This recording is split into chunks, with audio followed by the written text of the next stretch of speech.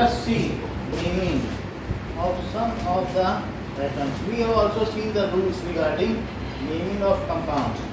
Have we seen these in text questions of page number 39? क्या हमने first question कर लिया कर नो सर नो सर एक किया फ़र्स्ट का फ़र्स्ट पार्ट किया फ़र्स्ट का वो नहीं किया अच्छा है तो फ़र्स्ट क्वेश्चन देखिए so text page thirty nine Okay, next question. Page 39. पहला क्वेश्चन है sodium oxide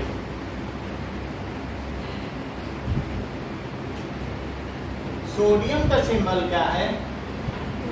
N A plus है तो प्लस वन की जगह यहाँ प्लस वन लिखो। और ऑक्साइड का सिंबल क्या है? और टू माइनस होता है? तो टू का माइनस यहाँ लिखो। ओके जो भी चार्जेस होते हैं वो यहाँ लिखे जाते हैं। यहाँ लिखो वन प्लस और ये टू माइनस देखो ऐसे लिखा है। बाकी में देखो कैसे लिखा है। तो ये क्या हुआ? दिस इज़ सिंबल और फार्मूला सर ज़ीरो क्या है? ऑक्सीजन ऑक्साइड का ओ टू माइनस नहीं होता है। ओ और टू माइनस और एन प्लस। और ये क्या है? क्या ये चार्ज है? तो ये इधर और ये इधर। तो जब ये इधर होगा इसको ऑसिलेशन पर कर लो तो हवा आएगी अब। तो इससे जो फार्मूला बनेगा ठीक है? तो फार्मूला क्या हो जाएगा? एन ए पे कितना लगा दूँ? N A two O N A two हुआ। नेक्स्ट देखो। एल्यूमिनियम क्लोराइड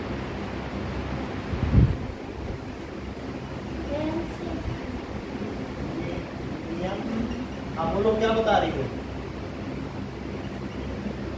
तो इसका सिंबल क्या है? ए एल ए एल पे क्या लगता है? थ्री थ्री प्लस ना?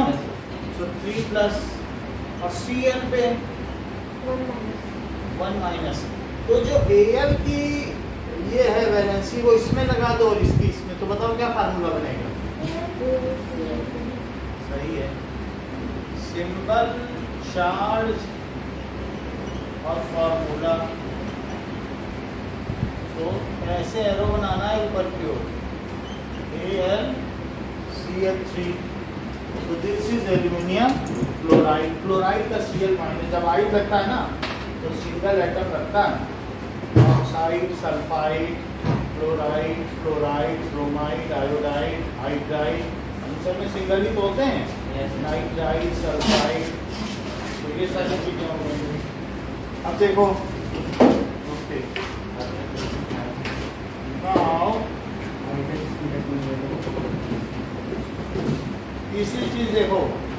Sodium sulphide sodium sulphide sodium का क्या एन ए वन प्लस है और सल्फाइड का?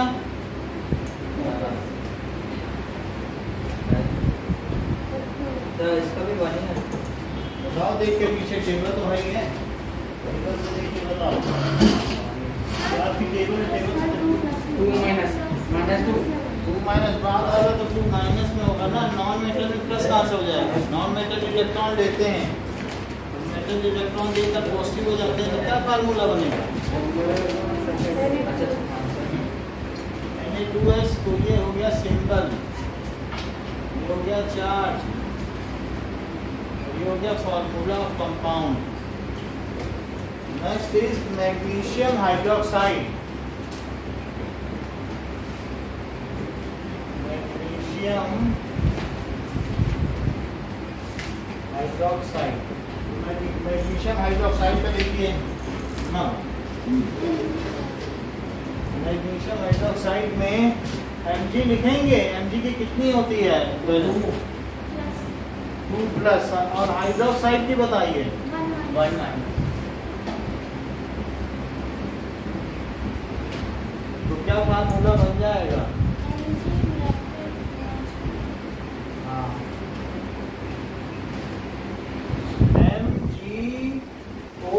एच होल ट्वाइस ऐसे बोला जाएगा। ठीक है? और M G O H whole twice M G O H whole twice अब देखो। चलो तो ब्रैकेट में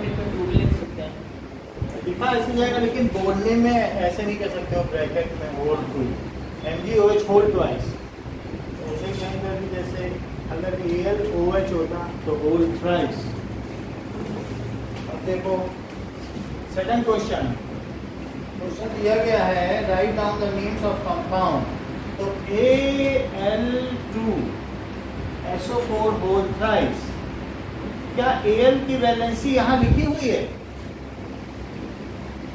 तीन होती है और सल्फेट की कितनी होती है?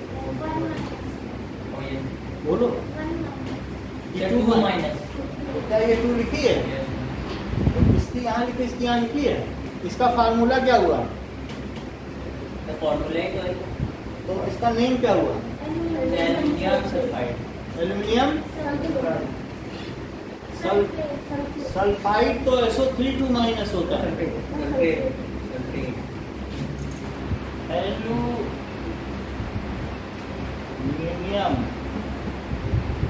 सल्फेट अब आगे देखो। C A C L two Kartik बताओ इसका नाम। Calcium chloride calcium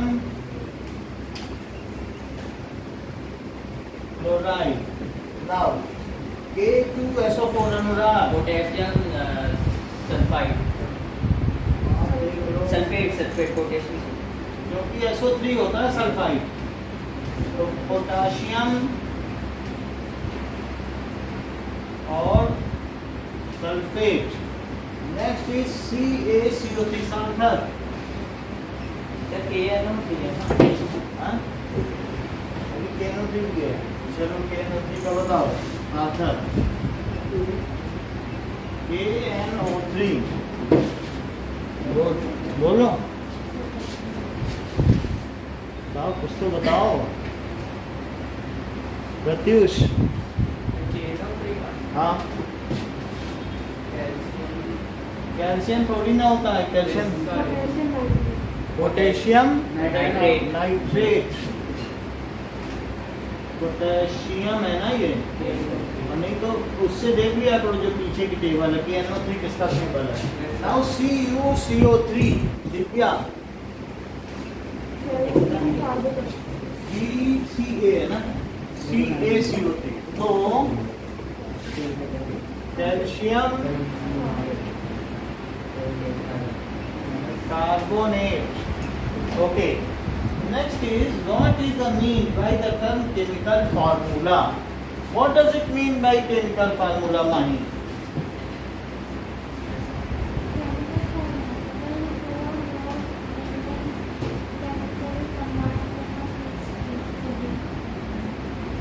Anurag बताओ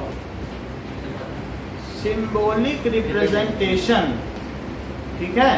ऑफ़ एनी कंपाउंड हाँ that is composition of any compound जरा यहाँ पढ़ लो केमिकल फार्मूला सबसे पहली लाइन सिंबॉलिक रिप्रेजेंटेशन ऑफ़ इस कंपोजिशन केमिकल राइटिंग केमिकल फार्मूले की पहली दूसरी line chemical formula of a compound is chemical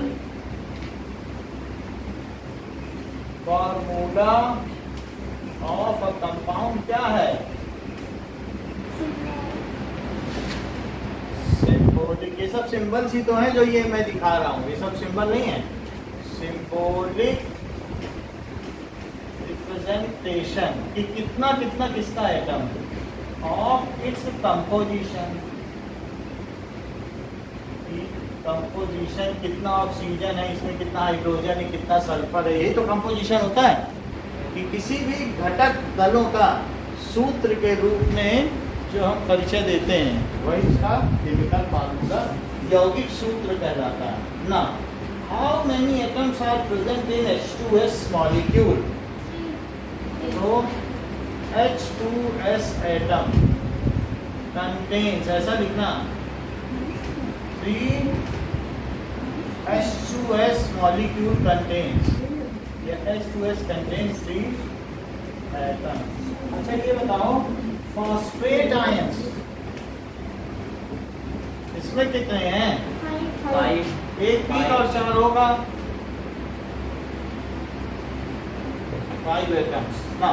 Molecular mass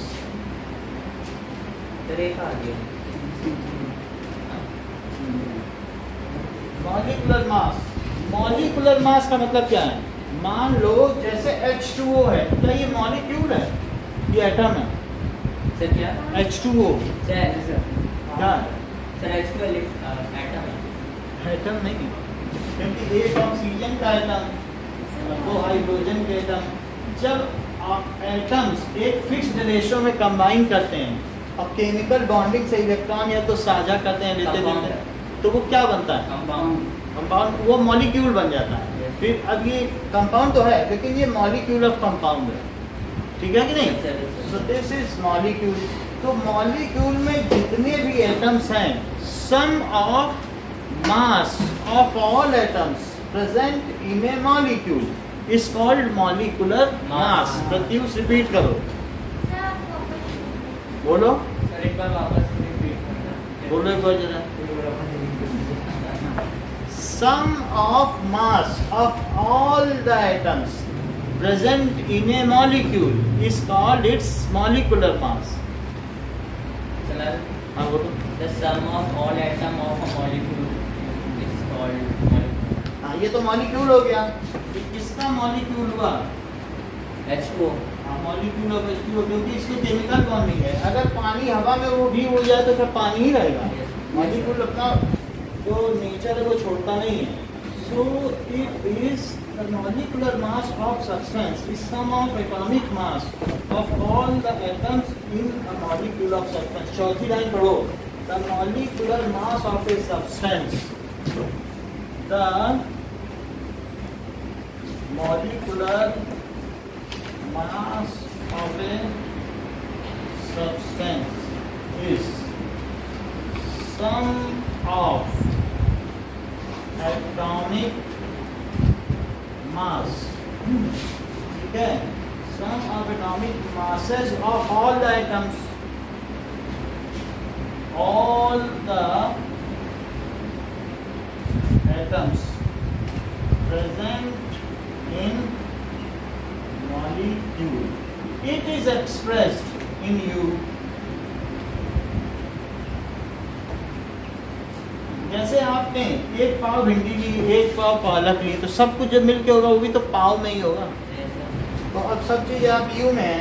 जैसे मान लो कि ऑक्सीजन का एटॉमिक मास का 16 यू है। हाइड्रोजन का कितना? One u.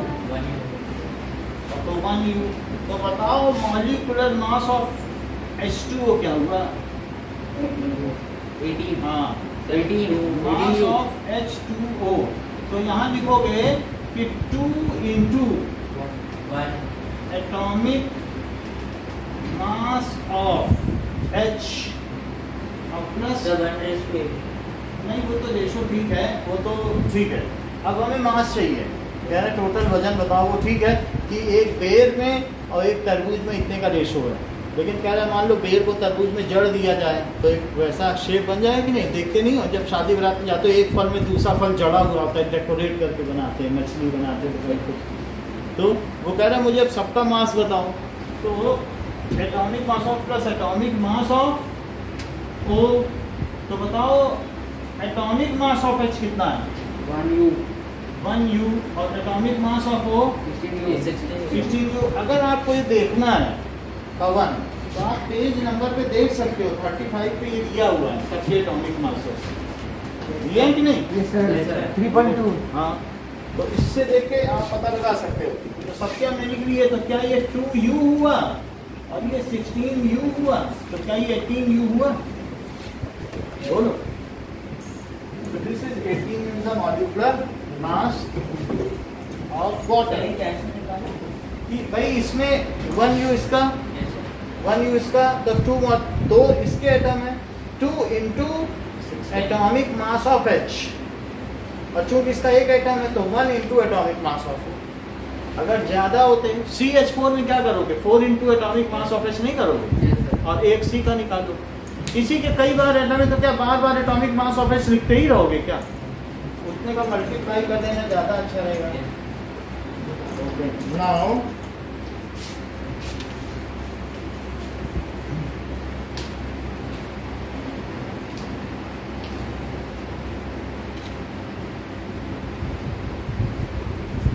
चलिए अब देखो, इसी तरीके से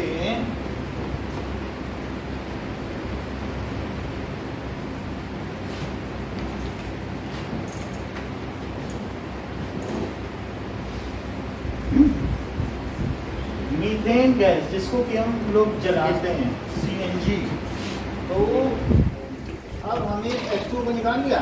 एग्ज़ाम्पल थ्री पॉइंट करो। कह रहा है calculate the relative molecular mass ठीक है तो अब हमें मॉलिकुलर मास को केजी में लेना चाहिए कि नहीं Yes. क्योंकि केजी स्टैंडर्ड यूनिट है लेकिन हम केजी में ना लेके क्या उसको यू में ले रहे हैं. So when molecular mass is expressed in U, then it is called relative atomic mass. वैसे तो सब चीज़ें मास किस लेना चाहिए बताओ। लेकिन हमने केजी में नहीं लिया क्योंकि बार बार बार माइनस ट्वेंटी सेवन कौन लगाएगा? साइंटिस्ट तो पूरे दिन थक जाएँगे बोलते बोलते उनका पूरा दिन तो मॉलिकुलर मास पे ही रहता है। सो व्हेन मॉलिकुलर मास क्या लिखे? When molecular mass is expressed in U, then it is called अब इसे क्या कहेंगे? क्या रिलेटिव मॉलिकुलर मास और देखो अगर एटॉमिक मास को एक्सप्रेस किया जाए यू में तो क्या उसे रिलेटिव एटॉमिक मास कहेंगे? वो भी बात सही है बोलो समझ में आई? Atomic mass is mass in u U, then it is called relative atomic mass. क्या हम सब चीज़ों में यहाँ एटॉमिक मास लिख रहे हैं? यू में? Yes, yes. तो वास्तव में हमें यहाँ relative atomic mass of H लिख देना चाहिए था और relative atomic mass of u क्योंकि हम यू में लिख रहे हैं। वो हमने नहीं लिखा। चीज़ें अंडरस्टूड हैं लेकिन फिर भी मन में रखना चाहिए। कोई अगर पूछ रहे भाई रिलेटिव क्यों लिख रहे हो? तो कह दो, हम यू में एक्सप्रेस कर रहे हैं, इसलिए रिलेटिव लिख रहे हैं। वरना हमारा मास का यूनिट के जी है। बोलो, माई, समझ में आई बात कि नहीं? नहीं समझ में? अगर हमें के जी में लिखना चाहिए था। के जी में लिखते यानी जैसे कार्बन है तो कार्बन का कितना होता है? One point nine nine nine eight और into ten to the power minus twenty six K G हमने इसमें नहीं लिखा। और हमने इसको कार्बन का जो मास है, वो ट्वेल्व यू लिख दिया। हमने यू यू में बदल दिया। क्यों बदला? क्योंकि ये के जी है। अच्छा ये अगर के जी है तो के जी को कैसे बदलोगे बताओ? बताओ वन यू ऊपर लिखोगे? और क्या ये one point six six zero five six into ten to the power minus twenty seven K G है? बोलो। क्या ये दोनों सेम है? वन यू में इतना ही के जी होता है? तो क्या के जी से के जी कटा और यूनिट है यूनिट को भी हम ठीक है मैनिपुलेट करके काट लेंगे। Yes. तो अगर मैं इसे बड़ा कर दूँ तो क्या इसे छोटा कर दूँ? Yes, देखो मैं इसे 1.9 कर दूँ को 19 तो क्या इसे छोटा कर दूँ? तो चीज़ें बैलेंस रहेंगी ना? दोनों चीज़ें तो बड़ा नहीं कर रहा हूँ ना? एक को बड़ा किया। 27 था. नहीं ये 26 था अगर इसे बड़ा किया तो इसे क्या कर दिया? छोटा। तो बैलेंस हो गया? क्या अब इसे इससे काट दें? Yes. और अब इससे इसको डिवाइड करोगे तो 12 ही आएगा नहीं तो डिवाइड करके देख लो कैलकुलेटर सामने।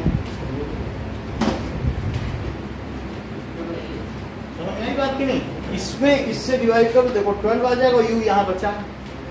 तो जब भी किसी चीज़ को हम किसमें एक्सप्रेस करें? यू में। यू में. तो अगर एटम का मास यू में कहेंगे तो रिलेटिव एटॉमिक मास है। समझ में आ गई बात? ये निश्चित हो गया दिव्या आपको समझ में आ गई बात अब देखो ई थ्री पॉइंट वन करो। सो रिलेटिव एटॉमिक मास तो हमें मॉलिकुलर मास ये हमने करके दिखा दिया है।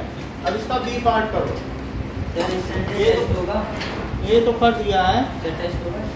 चांस कमी है। अगले संडे से तो क्या करना है? बी पार्ट करो H N O three nitric acid का मॉलिक्यूलर मास निकालो बोलो क्या कहती हो माई बताओ।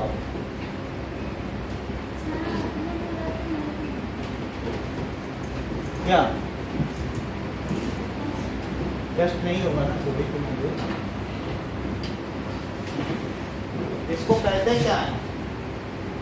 नाइट्रिक एसिड बोलते हैं कि नहीं? तो किसको अच्छा ना हाँ। यस और H two S O four तो सल्फ्यूरिक एसिड तो इसका मास निकालो तो क्या क्या क्या लिखोगे बताओ? सर वन हो जाएगा फोर हो जाएगा और ऐसे नहीं। एटॉमिक मास ऑफ़ एच फिर क्या लिखेंगे? Plus of- mass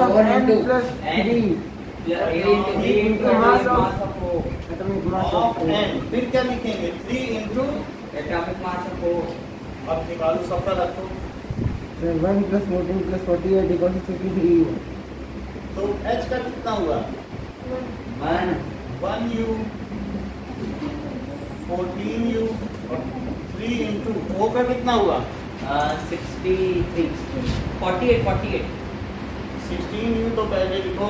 Forty eight forty eight one u plus fourteen u plus forty eight u yes sir अब इन सबको जोड़ो। सिक्सटी थ्री हो ये चीज़ हो गई? ठीक है ना। इतनी बात हो गई कि हमने सबका मॉलिकुलर मास निकाल दिया है। नाउ अब देखिए कि क्वेश्चन नंबर फोर करो एक्सरसाइज का।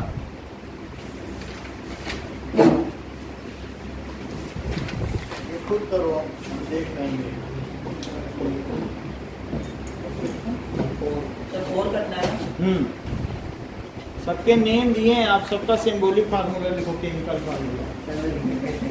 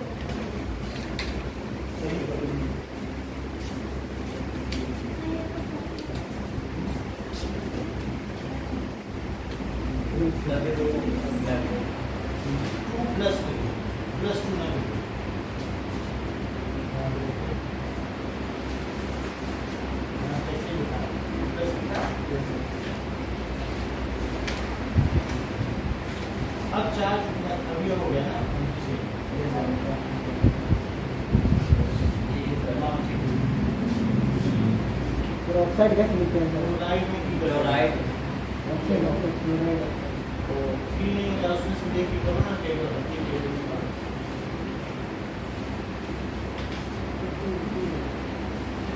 तो देखो एक पे सर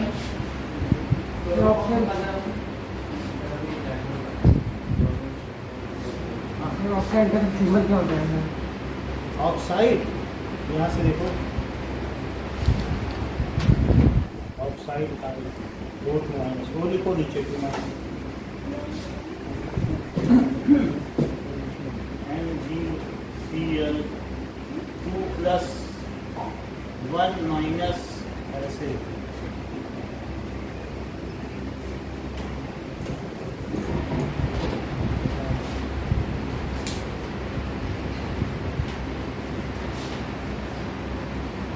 वन प्लस वन लिखो two plus two plus two minus फिर उसको रेशो में क्योंकि क्यूब होते हैं ना चार्ज और ही मनी मन में आधा आधा कर लो।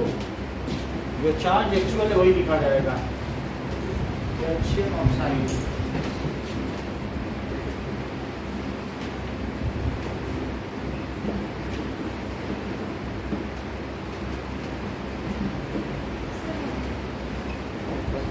charge formula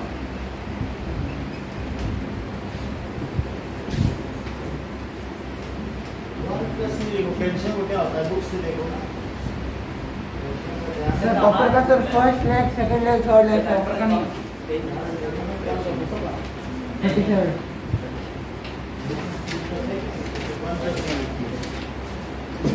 sir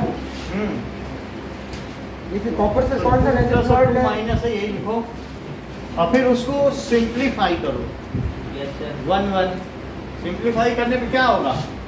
one one आएगा कि नहीं? और फिर multiply करो।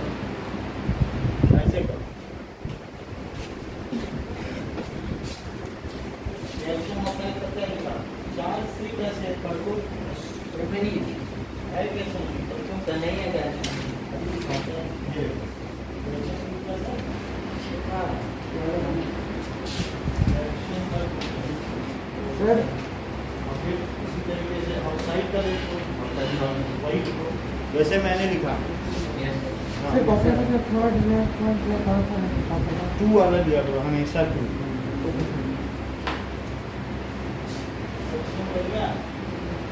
उसके जो सी ए लिखो और फिर टू प्लस लिखो उसके नीचे जो चार्ज है उसके नीचे लिखो सर फॉर्मूला में दोनों को कट रहे हैं हाँ क्योंकि अब दो प्लस दो माइनस न्यूट्रल हो से अगला करो कॉपर नाइट्रेट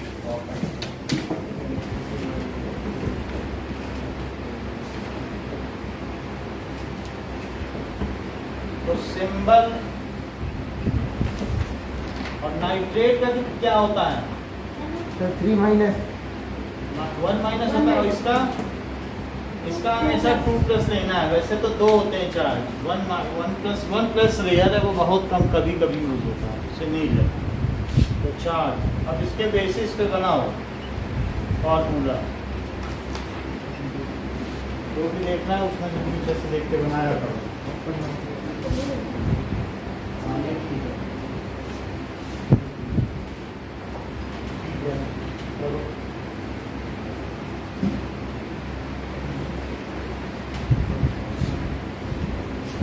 ऐसे कैंसिल नहीं किया जाता ऐसे वन वन लिख दिया जाता है यहाँ नहीं। सर एनो थ्री नहीं तो सिंपली भी मिला सकते हो। टू से टू अगर वो नहीं करना हाँ। बोलो। और that is calcium carbonate aluminium chloride करो इसके बाद। सर होल्ड टू होगा ना कॉपर नाइट्रेट का। देखो सी यू और एन ओ थ्री तो ग्रुप ऑफ़ एटम्स है पॉलीएटॉमिक आयन है तो होल्ड ट्वाइस होल्ड ट्वाइस हाँ। फिर कह रहा है कि calcium sir aluminium chloride aluminium chloride देखिए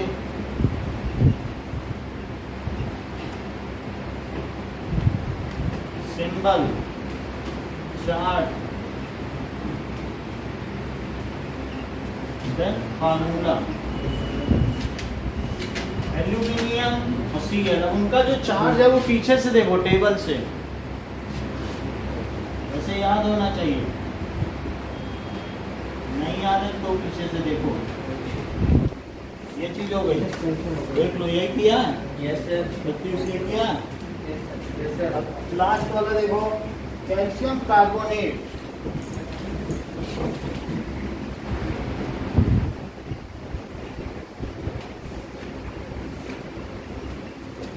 calcium carbonate that is symbol क्या है? फिर चार्ज हो गया और फॉर्मूला तो अब ये सिंबल लिख लो सी ए और सी ओ थ्री होता है। सी ओ थ्री का कितना चार्ज होता है? टू माइनस और सी ए का? टू प्लस तो ये सिंपली देखोगे तो वन वन हो गया। तो C A C O three हो गया। बोलो कहीं पूछना तो पूछ लो वरना बुक में देख लो। बुक में टेबल बना हुआ है चार्ज का। नाउ क्वेश्चन दिया है find molecular mass of H2 ये गैसेज हैं N2 Cl2 O2 N2 HCl CH4 इन सब का मॉलिकुलर मास निकालना है। Form find molecular mass of ammonium का ठीक सिंबल NH4 ये होता क्वेश्चन करवा रहा हूँ। क्वेश्चन नंबर देखो। One intext question one page forty NH4 होता इसमें लिखा है। That is question page forty का देखो। सबके मॉलिकुलर मास निकालो। पहला क्या दिया है? इसका क्वेश्चन नंबर देखो पेज फोर्टी पे इंटेक्स्ट क्वेश्चन दिए हैं। यस सर पहला क्वेश्चन करो H2 का मॉलिकुलर मास निकालो।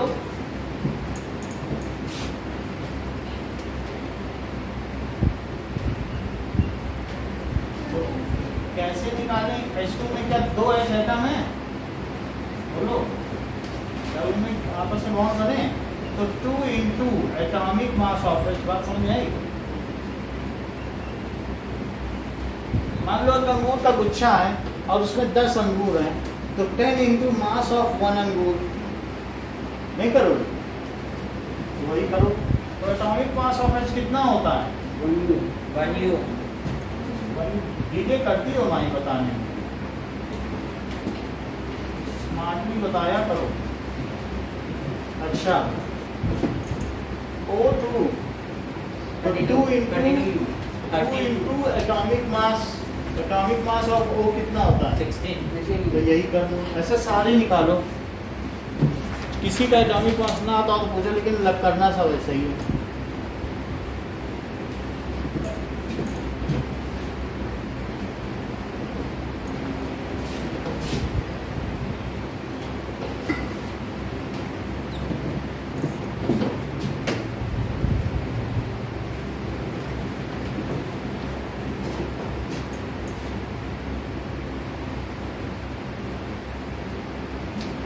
तो पूरा लिखना है कि एटॉमिक मास ऑफ़ हम्म।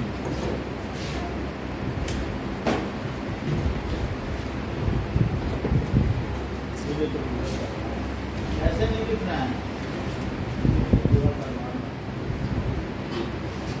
ये नहीं तरीका ये तरीका सही उसका कोई मतलब नहीं है ना कि O2 इज़ दिस तो लिखो मॉलिकुलर मास ऑफ़ O2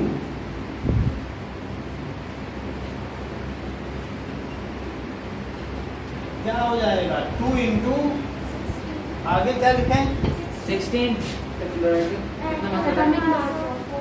ये। दस इंटू मास ऑफ़ वन अंगूर सो एटॉमिक मास ऑफ़ अब सबका लिखो। एक कर लोगी ना तो सब कर लोगी। बस एक सही करके दिखा दो। मोटू का कहाँ किया? मोटू का मतलब कैसे बताया? थर्टी फाइव वन फाइव भाई एच का भी कहाँ किया सर कैसे कर रही हो आठ काट रही सारा सर क्लोराइड का atomic mass thirty five point five chloride chlorine का है। क्लोरीन एटम बोलो बाकी तो क्लोराइड क्लोरीन गैस है। क्लोरीन गैस है ना? क्या ये टू तो क्लोरीन गैस है क्लोराइड क्लोरीन क्लोरीन लिखो दिव्या प्रॉपरली करो। शॉर्टकट नहीं है अपना इसमें बहुत नंबर कटते हैं हमने देख लिया बच्चों के। एक दो नंबर कट जाते हैं फिर जब चालीस में थर्टी नाइन आते हैं तो बच्चे रोते हैं।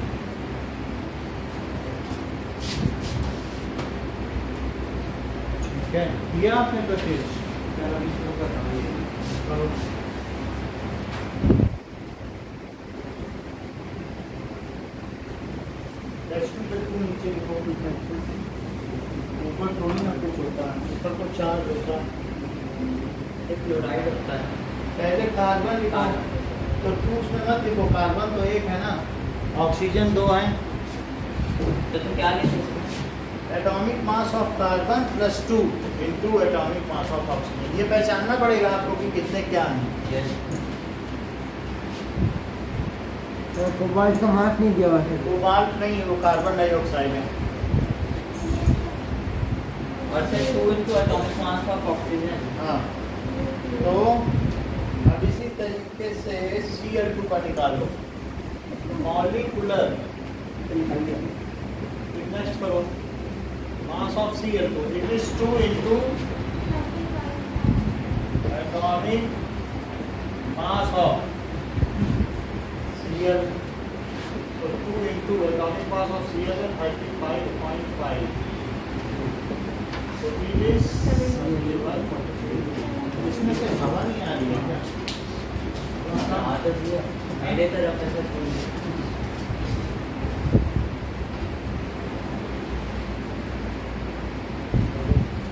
सर सी एच फोर से कितनी वैल्यू है? मीथेन गैस होती है। तो इसमें भी अलग अलग होगा ना? हाँ? सी अलग होगा सर अब देखिए। इसके बाद पूरा करो।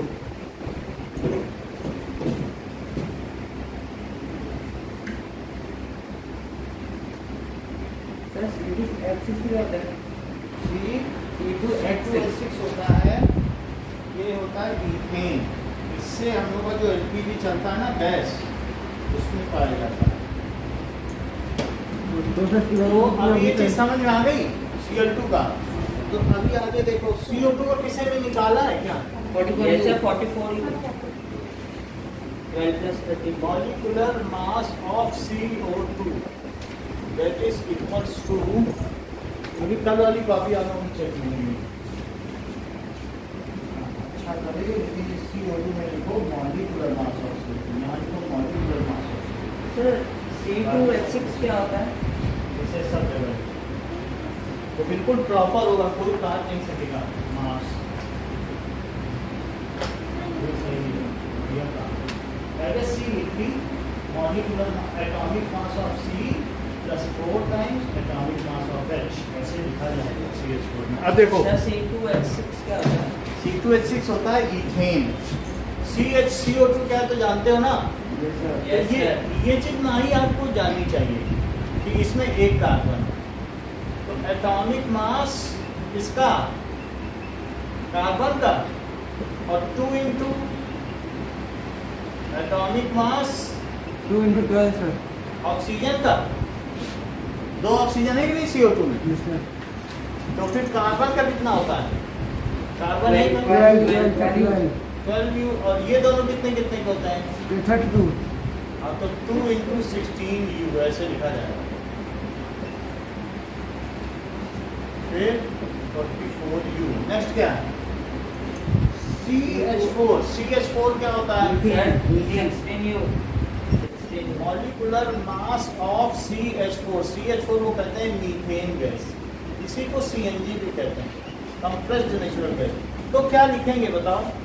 Atomic mass of carbon plus 4. Atomic mass of hydrogen atomic mass of carbon देख लो इसका फार्मूला एक सी पे चार एच लगे हुए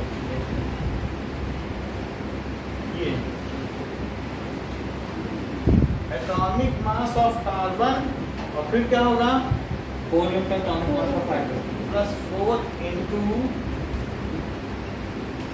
atomic mass of hydrogen तो अब कार्बन का 12 यू लिखो और 4 इंटू एटॉमिक मास है तो 4 इंटू वन यू है ना ये वन वन यू है कि नहीं चारों?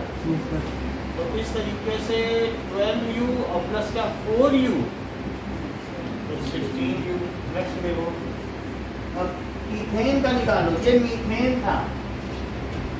ये दो कार्बन है यू होता है. Thirty u thirty u twenty four plus molecular mass of C2H6 ethane तो देखो, इसमें दो सी हैं बड़े बड़े और इसके पास क्या तीन एच हैं? और इसके पास भी कितने हैं? ये सब एच हैं क्या जो छोटे छोटे होते हैं? छोटे छोटे समझ में आई? ये मीथेन देख लो। ये इथेन देख लो। हेल्प चाहिए क्या? तो कपड़ा नहीं है। इधर ही कपड़ा।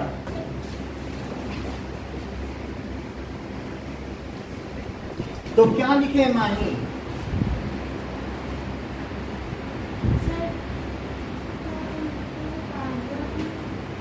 आप बताओ। हाँ ये ठीक है। Two into atomic mass of carbon plus six into atomic mass of hydrogen तो 2 into 1 u. कार्बन का कितना होता है? 12 u.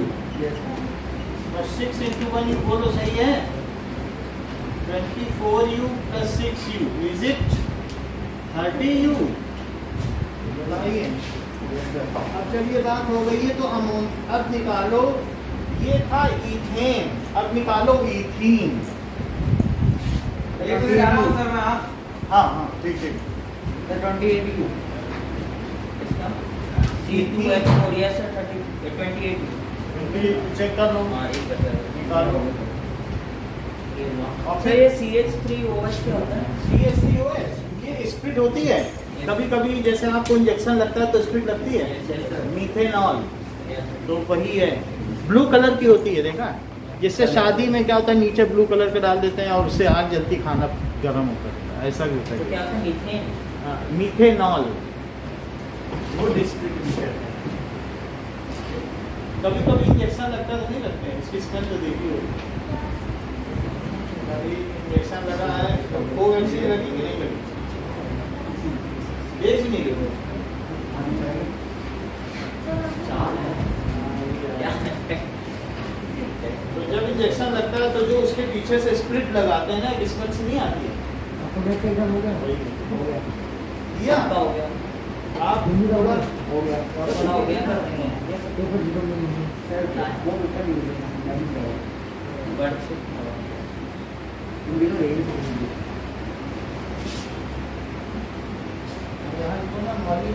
sir C H three O H में चार है ना molecular mass of CO. हाँ बोलो। इसमें चार है ना? C H three O H में। सी एस सी में चार हो चार एच हैं। अब देखिए। तो मॉलिकुलर मास अब किसका निकालना है? मॉलिकुलर मास ऑफ़ इथेन है C2H4 इसको कहते हैं इथीन जब C2H6 था तो इथेन इसका क्या नाम है? इथेन और इसका क्या नाम है? इथीन अगर ये बहुत सारे मिल जाए तो क्या पॉलीइथीन बनेगा?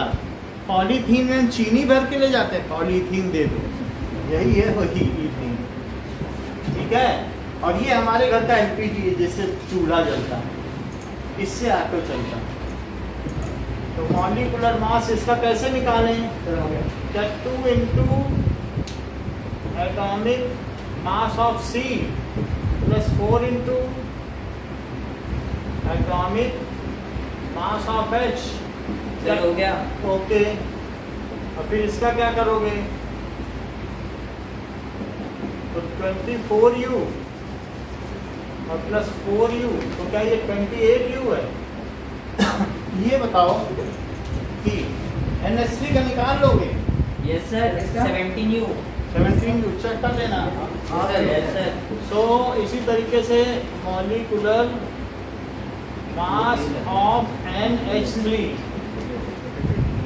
molecular mass of N plus three into देखो मॉलिकुलर लिखा गलती कर दी ना atomic mass of three into atomic mass of H तो क्या ये 14 यू 14 प्लस 3 1 यू 17 17 यू हो गया? इसे हाँ स्टार्ट आगे देखो। Now C H three O H molecular mass of C H three O H it is equal to 32. H कितने हैं? फोर फोर फोर सो और सी वन है? वन है। So atomic one है। C plus four times. Atomic mass of H plus one times. Atomic mass of O. Sir अलग अलग भी तो लिख सकते हैं ना? वैसे सर जैसे atomic mass of C three into atomic mass of H atomic mass of O plus atomic mass of H sir ऐसे बट एक साथ जब सबको क्रॉस करना चार है तो दिख ही यस गया ना। यस तो चार है तो थ्री है और एक twelve plus three plus sixteen plus twelve plus four into one u thirty two plus 16 you तो 12 plus 4 और plus 16 और बाहर में u लगा thirty two u 16 plus 16 32 u. इतनी बात समझ में आ गई? सर ये यू हर में लगाना है। ही तो लगाना है नहीं तो अभी आगे मॉडल लास्ट में यू लगा सकते हैं और सब में छोड़। हाँ ऐसा बाद में बाद में u लगा सकते हो लेकिन सबके फिर मार्क्स तो नहीं देख लेना। मार्क्स का तो नहीं बता लगा देना कहीं ना कहीं।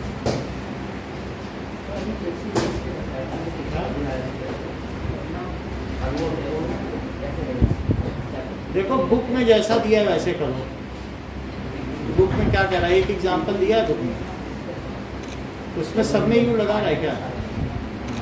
कि कहीं निकाला ही नहीं है। क्या? क्या? बुक के एग्ज़ाम्पल में किस तरीके से निकाला? नहीं निकाला ना? यू नहीं लगा तो आप भी मत लगाओ लास्ट में यू लिख दो। यस सर बुक में कहाँ लिखा है? है ना? यस सर अब देखो। अब हम लोग देखेंगे फॉर्मूला यूनिट मास क्या ये जो आयनिक कंपाउंड है इनमें मॉलिक्यूल होते हैं क्या? जैसे कि एन में।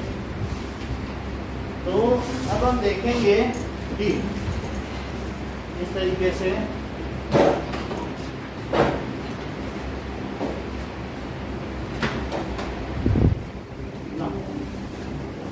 अब देखो कि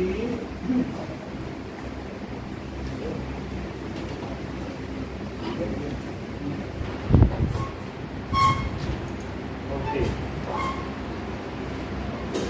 So we will see ionic compound में एक देता है तो दूसरा लेता charge. So it is ionic compound.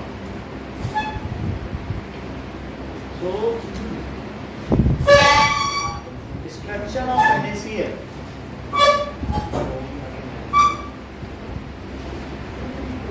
Now, अब। जरा देखो सर NaCl तो नमक होता है हाँ नमक होता है तो उसमें Na प्लस होता है और दूसरा क्या होता है माइनस Cl माइनस तो इसमें अगर आप देखोगे सर माइनस वन होता है Cl Cl पे माइनस वन है ये ये चीज़ है। यानी अब इस स्ट्रक्चर में कोई मॉलिक्यूल जैसा है कुछ कि कुछ भी नहीं है मॉलिक्यूल जैसा।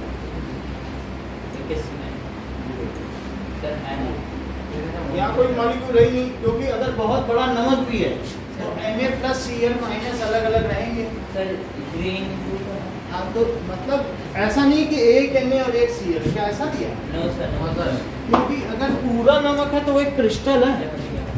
बोलो समझ में आ रही बात की नहीं? तो पूरा नमक है तो उसमें क्या होगा?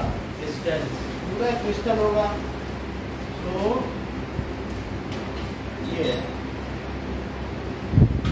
इस तरीके से। तो ये सारे NaCl के ही हैं। कोई भी इसमें लो ठीक है? का एक क्रिस्टल है? तो इसमें कैसे होता होगा? क्या इसमें Na प्लस होगा. और एक उसके बगल में सी एल माइनस इससे अट्रैक्टेड होगा क्या? और फिर उसके बगल में एक अन्य प्लस होगा? और एक सी एल माइनस होगा। और ये ऐसा एक अकेला नहीं होगा। ये जो नमक खड़ा नमक किसी ने देखा है? एक होता है पिसा नमक सफ़ेद और एक होता है दंगली खड़ी नमक। नहीं देखा? Black, black. हाँ। मतलब कोई भी या और कोई भी नमक काला नमक पत्थर पत्थर करके बिकता नहीं है ट्रक में। नहीं सो नमक के क्रिस्टल्स होते हैं। सो इस तरीके से जो भी रॉक सॉल्ट है? फिर से तोड़ा जाता है इतने बड़े बड़े पत्थर टाइप होते हैं क्रिस्टल टाइप तो ये हमारे पास नमक रखा भी हुआ है। होगा ये है that सारा क्रिस्टल तो ऐसे ही खड़ा नमक भी होता है। इस तरीके से ये देखो? इसको करोगे काला नमक का रस वाला देखो। ये काला नमक का रस करोगी ना देखो देखो। तो ये चीज़ है। ये देखो। तो क्रिस्टल है कि नहीं? ये कोई चाटना नहीं था साथ है ना नमक जैसा टेस्ट Taste नहीं करना चाहिए. ठीक है अब तो समझ में आया ऐसे ही होगा नमक तो ये एक नहीं है ना पूरा क्रिस्टल इतने बड़े बड़े पत्थर हैं वो एक मारेगा हैमर टुकड़े टुकड़े हो। तो अब Na और Cl माइनस फिर Na प्लस और सी एल माइनस का ये अल्टरनेट है. फिर Na प्लस फिर माइनस Cl Cl माइनस और फिर Cl Na प्लस minus. फिर अल्टरनेट होगा कि नहीं? अब इस लाइन में कैसे होगा? Cl माइनस क्या Na प्लस फिर Cl माइनस इस लाइन में कैसे होगा? कि yes, माइनस और इस लाइन में आप किसी भी लाइन में देखो अल्टरनेट है सारे। चाहे ऐसे ऐसे देखो. अभी कभी तो ऐसे आए ही नहीं है। तो ऐसे भी आओगे तो क्या सी एल माइनस के बाद Na प्लस फिर सी एल माइनस और फिर plus. Na प्लस तो यही चीज़ वहाँ भी है Yes, इस Cl चीज़ को minus. देखो। Cl minus Na plus. Na plus और Cl minus. Cl माइनस फिर Na plus. Na प्लस दो Na प्लस कभी साथ में नहीं आप मिला लो पूरे और Cl माइनस Na प्लस यहाँ Na प्लस है तो Na प्लस और फिर Cl माइनस फिर Na प्लस ठीक है और देन Cl माइनस और फिर फिर यहाँ पे क्या होगा Cl माइनस Na plus. और Cl Cl minus. Minus Na plus Cl minus. तो क्या यहाँ पर कोई सिंगल मॉलिक्यूल जैसा कुछ है है ही नहीं क्योंकि अट्रैक्शन है अगर मान लो तुम्हारे पास दस चुंबक हैं और सब रखो चिपक गए दो और चुंबक रखो कि क्या नहीं चिपकेगा वो भी चिपक जाएगा और चिपक जाएगा नॉर्थ के तरफ़ आगे साउथ फट से मुड़ के चिपक जाएगा सौ चुंबक रखो चिपक जाएगा नहीं देखे छोटे छोटे चुंबक sir. चिपक जाते हैं। तो अब हमारे पास ये है अब कह दो कि इनमें परफेक्ट रेशो है और ये बिल्कुल जो है उसी तरीके से रहेंगे। तो ये बिल्कुल गलत बात है। तो बलून बलून से क्या है? क्या तो नहीं ये तो इतने ही रहेंगे और इससे ज़्यादा नहीं रह सकते और दस ज़्यादा तो न चिपक जाए। मतलब ये जो चुंबक है कह दो कि उतने ही चिपकेंगे। उतने थोड़ी ना चिपकेंगे जितने मर्ज़ी उतने चिपका लो। उतने ही उतने ही चिपकेंगे क्या? तो ऐसे ही जितने डालते जाओ और डालो और डालो तो और नहीं चिपक जाएँगे। तो ऐसे इसमें क्या है? क्या अट्रैक्शन नहीं है प्लस और माइनस का? सर तो the simplest ratio of ionic compound इसमें अब हम कह दें NaCl में हम कैसे मॉलिकुलर मास निकालें? क्या मॉलिकुलर मास निकाला भी जा सकता है? सर नहीं निकाला जा सकता क्योंकि वहाँ मॉलिक्यूल है ही नहीं। सर नहीं मॉलिक्यूल है इसमें क्या? हम फिर हम क्यों NaCl कहते हैं जब मॉलिक्यूल नहीं है? क्योंकि वो इनका सिंपलेस्ट रेशो है। अगर 100 सोडियम के आयन हैं तो क्या उन पर ठीक 100 क्लोराइड के भी आयन हैं? तो उनका सिंपल रेशो क्या वन बाई वन हुआ? वन इज़ टू वन हुआ? So simplest ratio of cations and anions in ionic compound is is known as there ये क्या होता है? कि उनकी फार्मूला यूनिट कहलाती है। क्या कहलाती है? Formula unit. And its mass is called known as formula unit mass जरा लिखो। ये बिल्कुल बुक में ऐसा ही लिखा देखो formula unit mass sir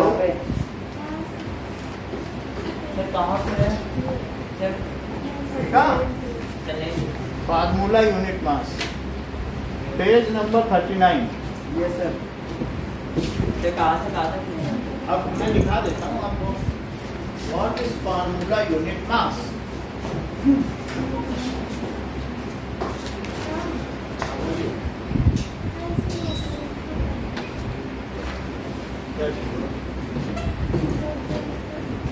rotate नहीं हो रहा आपकी तरफ़ हो जाएगा। ये इसमें रोटेशन सिस्टम नहीं है। ऊपर खींचने से रोटेशन आपकी तरफ़ कर सकते हैं बस इतना। कम करो कम करेंगे अपने हिसाब से नहीं दोनों अलग है। ये अलग है वो अलग है। वो दो दिख रहे हैं। ठीक है? और फॉर्मूला यूनिट हाँ हाँ। अब जरा देखो। कि तो क्या हम इसमें लिखी है डेफिनेशन लिखी हुई है the same manner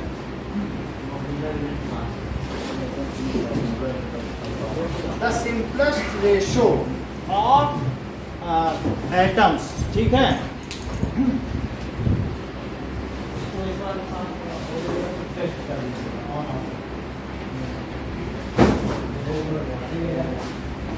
तो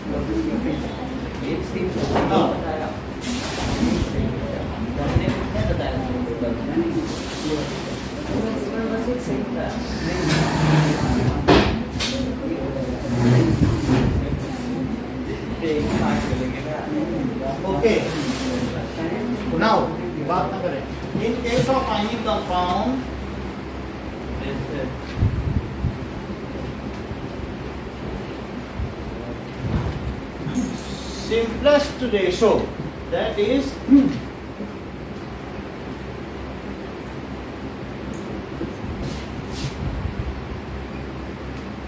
आयनिक जिसमें चार्ज होता है ना? हाँ जो भी अभी पीछे नहीं देखते M G C M G two plus है। और किसी किसी में चार्ज हमने कहा दोनों अगर हमने बताया था दोनों नॉन मेटल मिलेंगे तो कोवेलेंट है वो साझेदारी करेंगे।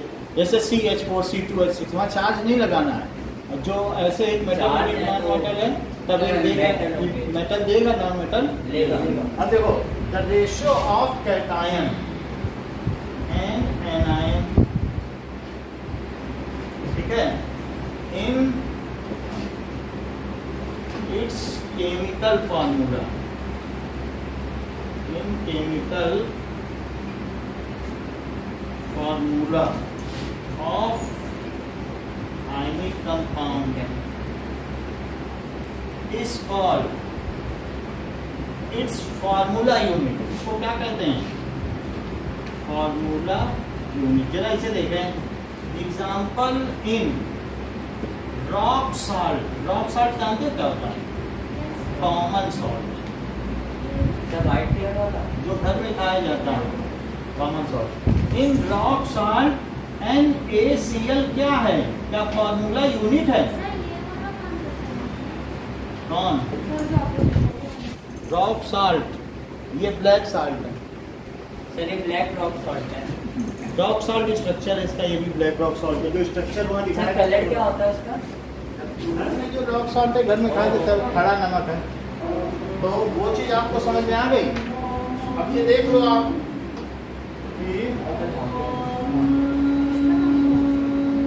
खड़ा नमक। तो इमेज ये है नंबर किसी ने नहीं देखा है क्या? दिखने रहा। तो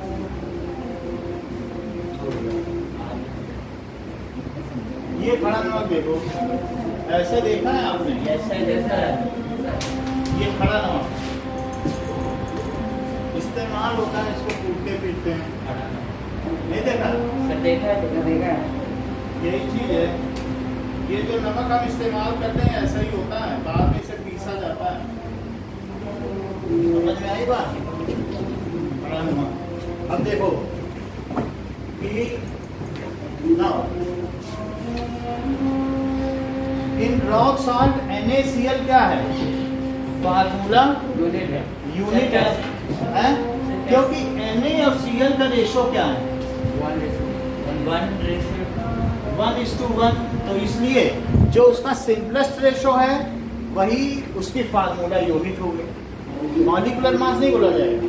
इसको क्या कहेंगे? फॉर्मूला यूनिट फार्मूला ये मॉलिक्यूल भी नहीं है। ऐसा नहीं कह सकते हो कि molecular formula it is not a molecular formula क्या ये मॉलिक्यूल है? वो पूरा इनफाइनाइटली चला जा रहा है। एक एन ए प्लस के बाद एक माइनस हाँ। भाई कंपाउंड तो जिसमें भी दो डिफरेंट टाइप्स ऑफ़ एटम वो कंपाउंड है। ये आयनिक कंपाउंड है। और जैसे सी एच फोर था, वो कोवेलेंट कंपाउंड था। जो कोवेलेंट कंपाउंड होते हैं, उसमें मॉलिक्यूल होते हैं। और जो आयनिक कंपाउंड होते हैं, उसमें फार्मूला यूनिट होती है। इसमें मॉलिक्यूल नहीं होते। फार्मूला यूनिट का मतलब सिंपलेस्ट रेशो इतना बड़ा भी पहाड़ है खड़े नमक के। तो बोलोगे, ये मॉलिक्यूल है क्या? एक एन ए प्लस एक सी एल माइनस इतना, और अगर और बढ़ा दो तो बड़े बड़े प्लेनेट हैं खड़े नमक के। मॉलिक्यूल बोल दो पूरे प्लेनेट जितना तोड़ोगे टूट भी जाएगा। तो इस तरीके से हम ये कहेंगे जो सिंपलेस्ट रेशो है वही उसकी फार्मूला है। आयनिक कंपाउंड में मॉलिक्यूलर मॉलिक्यूल नहीं होते। ठीक है? मॉलिकुलर फार्मूला नहीं होता। It is not a molecular formula ये मॉलिकुलर फार्मूला नहीं है। ये क्या है? इट इज़ फार्मूला यूनिट क्योंकि सिंपलेस्ट रेशो लिया गया। सर और कोई एग्जांपल है। अभी जितने भी आपने चार्ज वाले लिए हैं वो सब फार्मूला यूनिट है क्या एमजीसीएल में चार्ज लगाया था? Yes, इसमें एक मेटल हो एक नॉन मेटल हो। ऐसा लिया था क्या? इसमें लिया था। जैसे अदर एग्जांपल क्या Z N C L two है? M G C L two है? C A C O three है? C A C L two है? ऐसे ही के सी एल है क्या? ऐसे बहुत सारे हैं. सी यू फोर है? कॉपर सल्फेट ब्लू कलर का सही है ये सब क्या है? आर फार्मूला कुछ भी हो सकता है ना। फार्मूला इसमें ये सब हो सकते हैं देख लो जिसमें आपने चार्ज का इस्तेमाल किया है वो फार्मूला यूनिट है सर सी एच नहीं होगा? चार्ज लगाया किसी से भी? देख लो हाइड्रोजन क्लोराइड ये है जिसमें चार्ज लगा दिया। और कहीं कहीं ऐसा है जिसमें वैलेंसी लगाई है। यस वो वो मॉलिक्यूल है। वैलेंसी वाले क्या है? मॉलिक्यूल मॉलिक्यूल है। ये वैलेंसी लगाई जब दोनों नॉन मेटल है तो मॉलिक्यूल है। जब एक मेटल है और एक तो क्या होगा? सर मतलब जिसमें चार्ज क्रिस्टल होगा। क्या होगा? क्रिस्टल जिसमें चार्ज है वो होगा ना? भाई आप ये देख लीजिए ना कि जो क्रिस्टल होगा जैसे ये देखो कि C U S O four ये हमारा क्रिस्टल थोड़ा रस्टेड हो गया है हम इसको साफ़ कर देंगे एसिटिक एसिड से चल जाएगा। तो ये इसके ऊपर थोड़ा रश लग गया वरना कॉपर सल्फ़र सल्फेट का क्रिस्टल है? ब्लू क्रिस्टल था बिल्कुल चमकता हो। इसको है साफ़ कर देंगे। तो अभी ये कॉपर कार्बोनेट है ऐसा पेपर वेट भी तो आता है। क्या? वही है कॉपर इसको नींबू से लगेंगे पेन से नहीं है ये इसमें कॉपर कार्बोनेट का डस्ट लग गया ये ब्लू वाला क्रिस्टल वो जो ब्लू क्रिस्टल है ना उधर क्रिस्टल है? ये इसको देखो आप?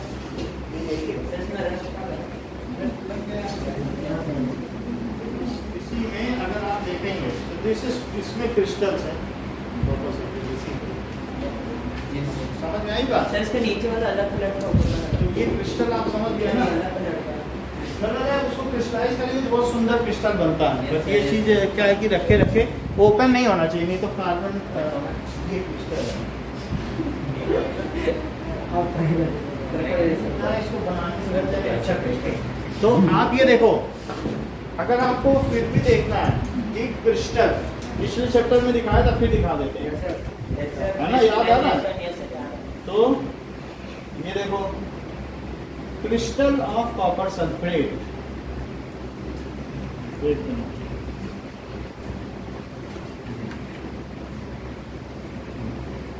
Crystal of copper sulphate तो आप देख लो कितना अच्छा क्रिस्टल है। बोलो है बढ़िया? ये सर ये देखो कितना एक क्रिस्टल भी कितना अच्छा है। ऐसे ही हमने खरीदा था अगर लेकिन हमारी गलती से खराब हुआ। अगर हमने इसे बंद रखा होता इस पे तो ब्राउन कलर का होता ये ऐसा था। तो ये हमने छह सौ रुपए का खरीदा था लेकिन मेरी गलती से इसको हमने? खोल के रख दिया। अब इसे धोना पड़ेगा तब सही कलर ये इसका रस्ट है कॉपर कार्बोनेट का। ये किस चीज़ का रस्ट लग गया? कॉपर कार्बोनेट यहाँ पर दिख रहा है कहीं पर। ग्रीन कलर का कहीं कॉपर कार्बोनेट जो कॉपर के ग्रीन कलर के कार्बोनेट है ये इसका रस्ट है। क्योंकि एटमॉस्फेयर में क्या कार्बन डाइऑक्साइड यस सर ये का है। ये है ना? ये रस्ट है जो स्टैचू ऑफ़ लिबर्टी पे रस्ट लगा था ना? The same rust is over here तो आप ये समझ लीजिए ऐसा रस्ट लग गया। ये देखो ओके? तो समझ में तो आ गया ना आपको कैसा?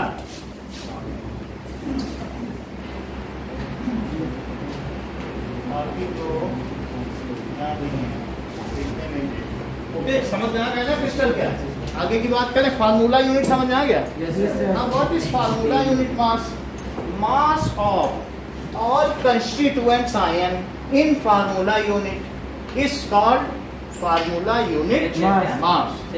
Mass of all constituents ion in formula unit. इसमें जितने भी घटक अवयव हैं constituents ions हैं in any formula unit उसमें कहते थे mass of all atoms इसमें बोलोगे mass of all ions क्योंकि यहाँ एटम ही नहीं है तो mass of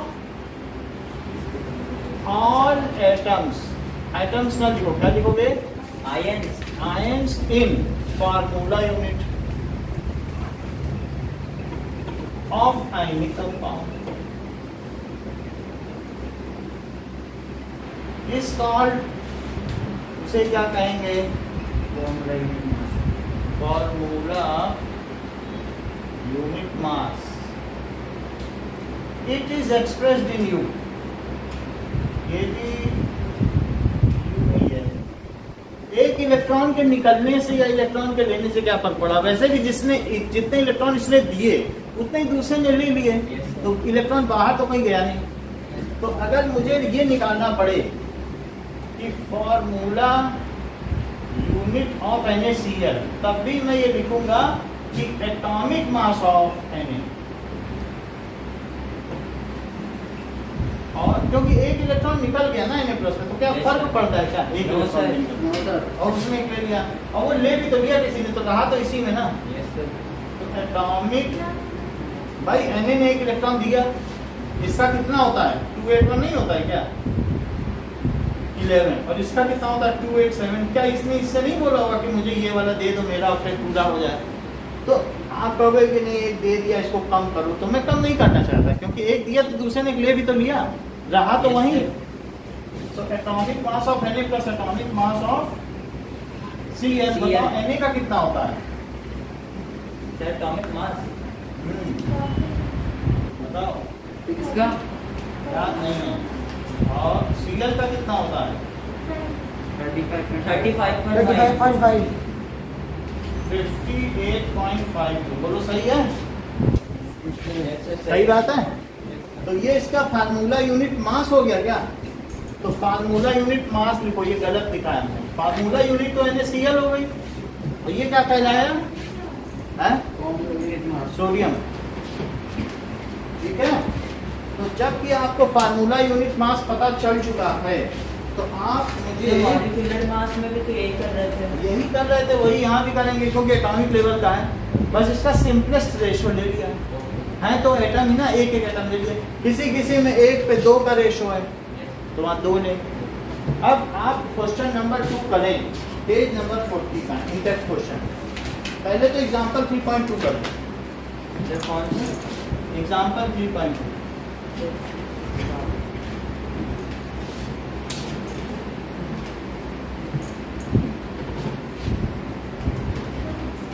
हम्म बोलो पूछो तो पूछना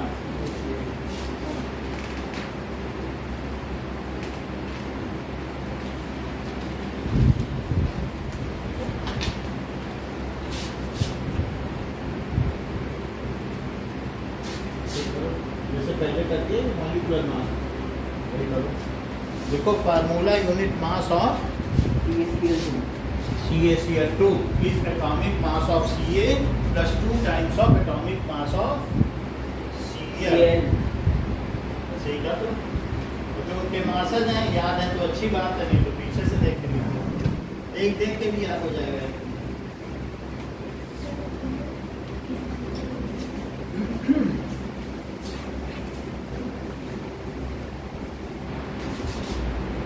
जिसका 58.5 हो गया फॉर्मूला इस 58.5 उसका फार्मूला यूनिट मास हो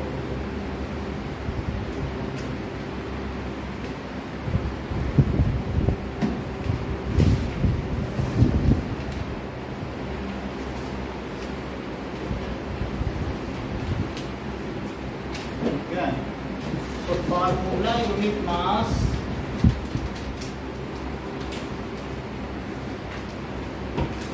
of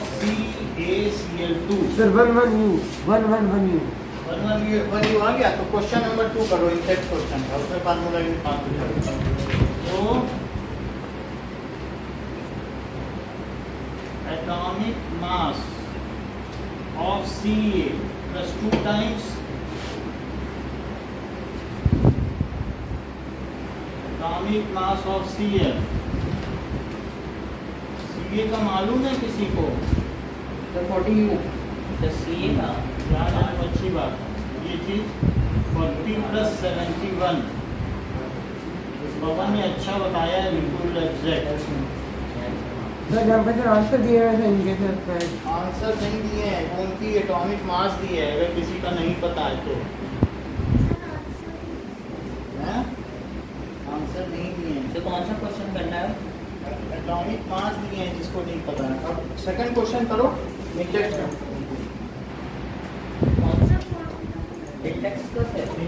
टू एग्ज़ाम्पल के नीचे यहाँ पे 3.2 एग्ज़ाम्पल कर रहे फ़र्स्ट वाला तो कर चुके थे। अब सेकंड बचा है कि नहीं उसमें बैठा करो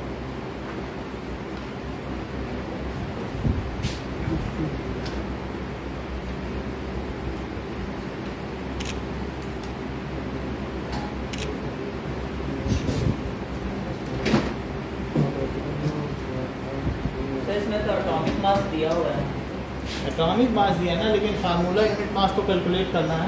करो किसका निकालना है? सर जेड एन ओ तो जेड एन ओ का निकालो। और सर जेड एन क्या होता है? जिंक जस्ता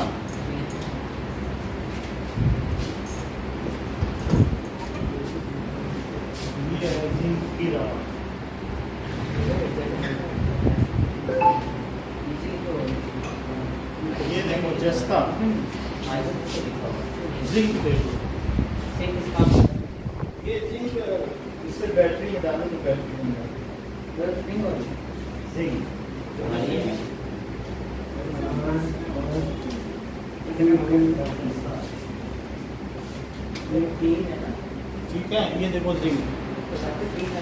ऐसे सभी का निकालो, सिंबल में मत लिखो, पूरा पूरा लिखो।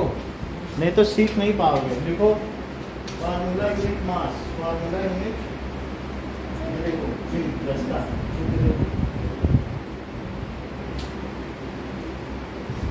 चलो।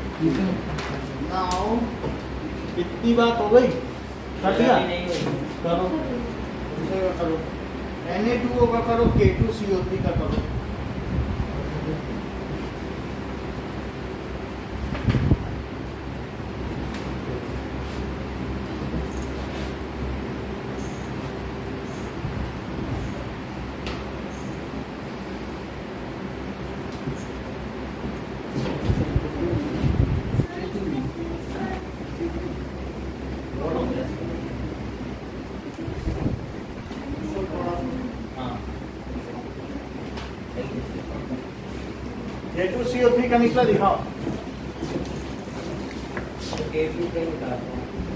तो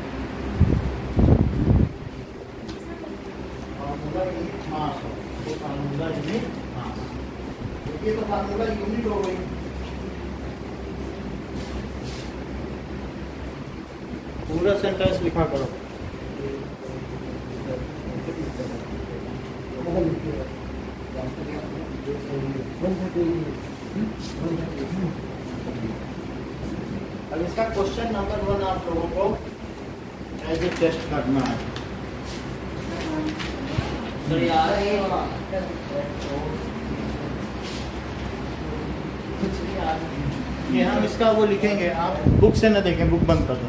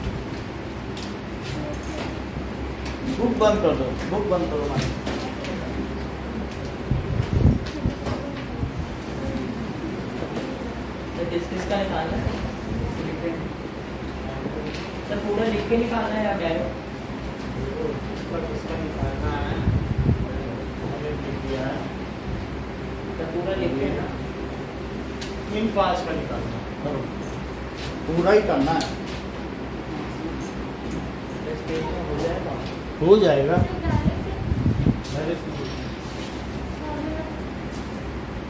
जैसे लिखा जाता है पूरा ही लिखना है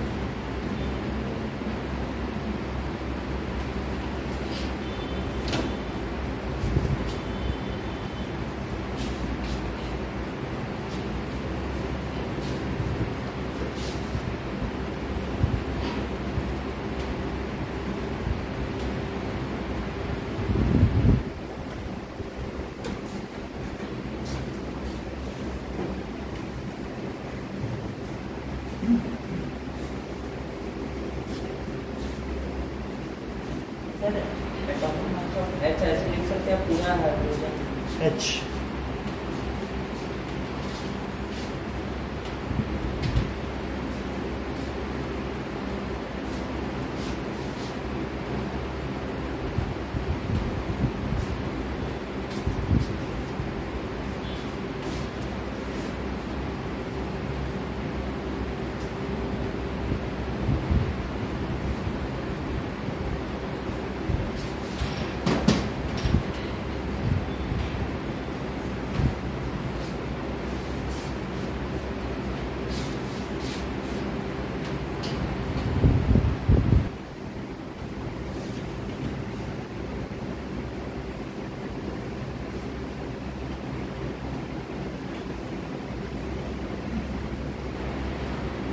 सर एन का माइनस नाइट्रोजन लेना सर एन का माइनस नाइट्रोजन लेना एन तो नाइट्रोजन होती है